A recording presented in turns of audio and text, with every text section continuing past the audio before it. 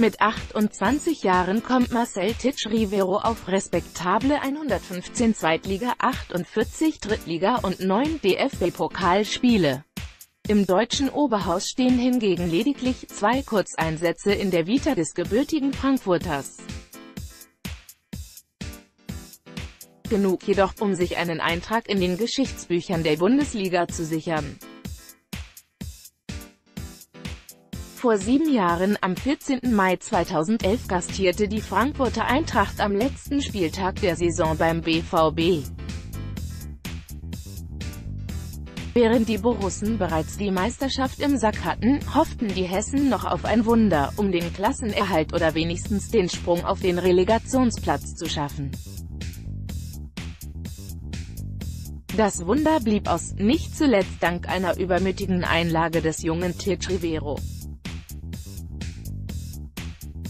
Der Kicker aus der Eintracht-Jugend betrat beim Stand von 2 zu 1 für die Schwarz-Gelben für den heutigen Borussen Sebastian Rode den Rasen, zog sich die Stutzen zurecht, trat Marcel Schmelzer im Strafraum auf die Schlappen und wurde von Schiri Peter Gagelmann postwendend wieder unter die Dusche geschickt, nach gerade einmal 43 Sekunden.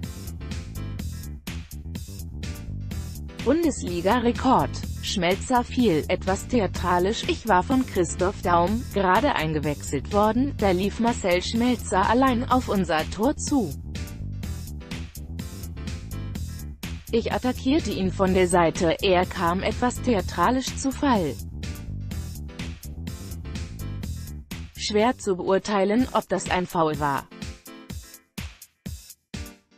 Der Schiedsrichter hat jedenfalls auf Notbremse entschieden, kommentierte der Rekordübeltäter die Szene Jahre später gegenüber der Südwestpresse, dass Dortmunds Publikumsliebling Dede danach auch den fünften Strafstoß des BVB in der Meistersaison kläglich vergab, war wenigstens ein Trost für den Mittelfeldspieler, der inzwischen über den Blitzplatzverweis lachen kann.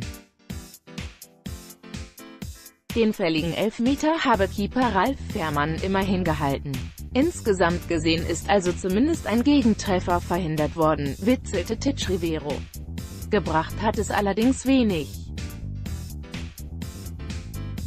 Dortmund gewann 3 zu 1, Frankfurt musste den Gang in Liga 2 antreten.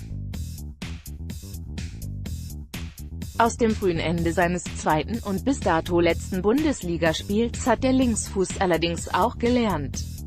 Glatt-Rot Satic Rivero, der seit 2012 für den ersten FC Heidenheim kickt seitdem nie wieder.